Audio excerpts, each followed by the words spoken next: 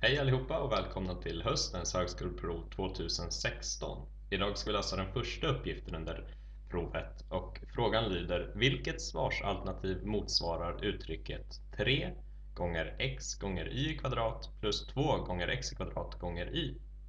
Och det här är en väldigt typisk uppgift för just x, y, z-delen. Så om ni känner er osäkra på den här typen av uppgift så läs igenom kapitel 8.1 i övningsboken så kan ni repetera det som presenteras där. Men vi hoppar direkt in i uppgiften och skriver 3x y kvadrat plus 2x kvadrat y. Och vi ser att vi har som vanligt fyra svarsalternativ och vi vill nu se vad vi kan göra. Eftersom att vi har olika exponenter, så här har vi x eh, och y upphöjt till 2 och här har vi x upphöjt till 2y kan vi inte bara plussa ihop dem som man gärna vill göra.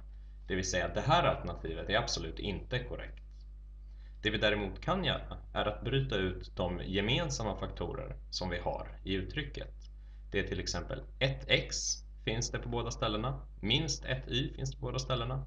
Så 1x och 1y kan vi definitivt bryta ut utan problem.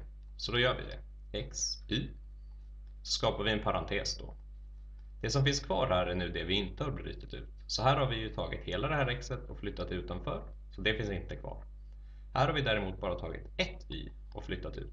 Så vi har faktiskt ett y kvar. På samma sätt fortsätter vi. Tvåan finns kvar.